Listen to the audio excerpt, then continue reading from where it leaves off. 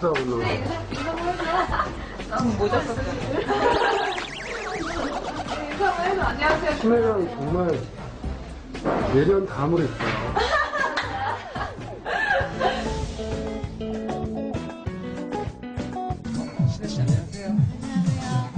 워낙 저희가 드레, 드라마를 좀 강행군을 하다 보니까 다들 잠도 못 자고 이러는데 같이 모이면 재밌습니다.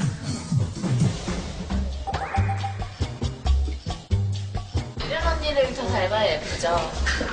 신혜야, 너 닮아서 예쁘죠, 오늘. 야, 욕 먹는다, 우리. 찍을까, 신혜야? 아, 비교되지 않아. 나, 나 이러고 있고 언니 봐.